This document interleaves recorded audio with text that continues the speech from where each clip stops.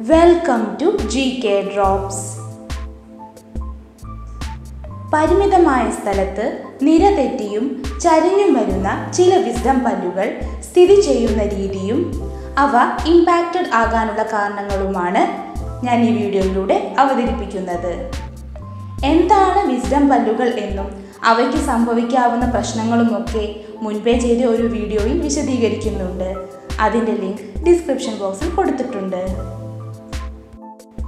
ചിലരിൽ പ്രത്യേകിച്ച് വിസ്ഡം പല്ലുകൾ മറ്റു പല്ലുകളുടെ നിരയിലേക്ക് നോർമലായിട്ട് വരാതെ താടിയിലിനടിയിലോ മോണയുടെ അടിയിലോ കുടുങ്ങി കിടക്കാറുണ്ട്. ഇത്തരം പല്ലുകളെ ഇമ്പാക്റ്റഡ് ടീത്ത് അല്ലെങ്കിൽ ഇമ്പാക്ഷൻ എന്ന് പറയുന്നു. വിൻഡേഴ്സ് ക്ലാസിഫിക്കേഷൻ അനുസരിച്ച് impacted third molar പല്ലുകളെ mesio angular disto angular horizontal vertical buccal or lingual transverse എന്നിങ്ങനെ തരംതിരിക്കാവുന്നതാണ്. മീസിയോ ആംഗുലാർ ഇമ്പാക്ഷനിൽ തേർഡ് മോളാർ മറ്റുള്ള അണപ്പല്ലുകളുടെ ദിശയിൽ തന്നെ ചരിഞ്ഞായിരിക്കും ഇമ്പാക്റ്റഡായി ഇരിക്കുന്നത്.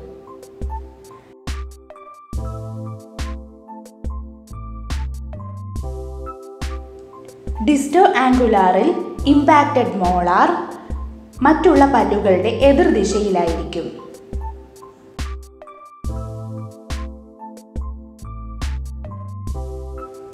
ഹൊറിസോണ്ടൽ ഇമ്പാക്ഷനിൽ ടീത്ത് ഹൊറിസോണ്ടലായിട്ട് സ്ഥിതി ചെയ്യുന്നു.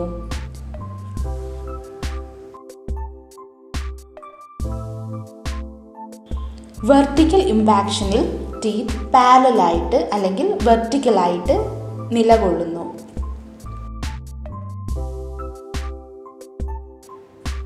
ബക്കൽ എന്നാൽ തേർഡ് മോളാർ ടീത്ത് കവളിന്റെ വശത്തേക്ക് തള്ളിയിരിക്കുകയായിരിക്കും. ലിംഗ്വൽ എന്നാൽ തേർഡ് മോളാർ നാവിന്റെ വശത്തേക്ക് തള്ളിയിരിക്കുകയായിരിക്കും. ട്രാൻസ്വേഴ്സ് എന്നാൽ ബക്കോ ലിംഗ്വൽ ഡയറക്ഷനിൽ ഇമ്പാക്റ്റഡ് ആയി കിടക്കുന്നു. ഇത്തരം ഇമ്പാക്റ്റഡ് ആയ പല്ലുകൾക്ക് എന്തെങ്കിലും പ്രശ്നമുണ്ടാകുമ്പോൾ ഒരു മൈനർ സർജറിയിലൂടെയായിരിക്കും പുറത്തെടുക്കുന്നത്. ഇവയിൽ മീസിയോ ആംഗുലാർ ഇമ്പാക്ഷൻ ആണ് റിമൂവ് ചെയ്യാൻ എളുപ്പവും.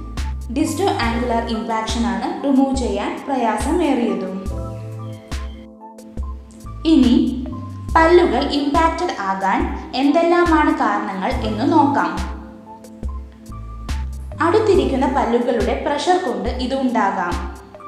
ബോൺ ഡെൻസിറ്റിയാണ് മറ്റൊരു കാരണം.